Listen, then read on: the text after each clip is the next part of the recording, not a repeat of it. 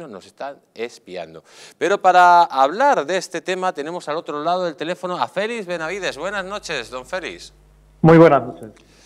Don Félix, explíquenos exactamente em, cuál es el problema que está teniendo el Ministerio de Defensa y en general el problema que se va a generar en toda Europa con esta marca de móviles chinos.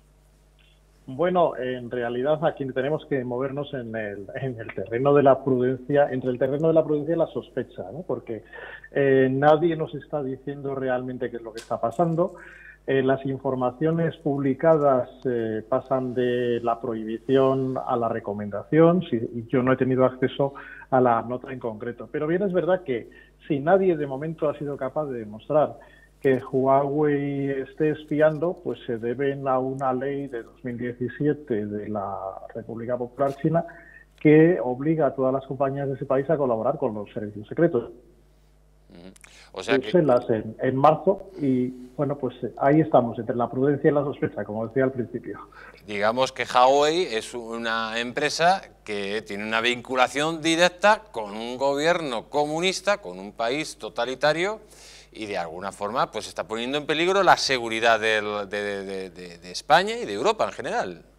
Bueno, estas afirmaciones eh, no, somos capaces de llevarlas a cabo. De hecho, en Francia, Huawei ahora mismo se está comportando de una manera, se está defendiendo de este tipo de acusaciones de una manera bastante agresiva eh, porque ellos lógicamente afirman que no tienen este vínculo. Pero como digo, y esta fue una afirmación de Andrew Sansip eh, en, marzo de este año, yo creo que aproximadamente, eh, pues nos anunciaba que desde el 2017 todas las compañías chinas se deben a la colaboración con los servicios secretos de, de ese país como digo, tenemos que ser extremadamente prudentes. No olvidemos que en España también Huawei tiene una oficina que da empleo a 1.300 empleados aproximadamente.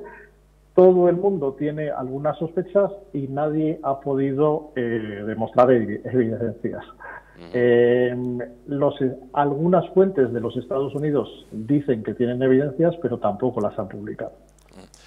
pero lo, que está claro es eh, que cuando el Ministerio de Defensa obliga, yo lo digo porque mi hermano y personas que conozco son militares y ya les han prohibido conectar sus móviles Huawei a la red wifi eh, porque de alguna forma mm, cuando el agua, cuando el río suena, agua lleva, ¿no?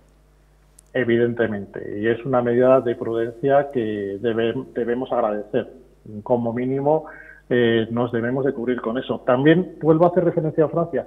En Francia hay una ley que se ha dado en llamar coloquialmente ley Huawei, que lo que hace es que em, obliga a los suministradores de tecnología para las redes 5G a que la tecnología instalada sea certificada y aprobada por el gobierno. Entonces, todo el mundo está sospechando, de momento nadie ha publicado evidencias, como digo, pero la sospecha existe, lógicamente. Don Félix Benavides, muchísimas gracias por estar en los micrófonos del Mundo al Rojo. A ustedes, muchas gracias. Buenas noches. Un fuerte abrazo. Pues amigos, si tienen ustedes...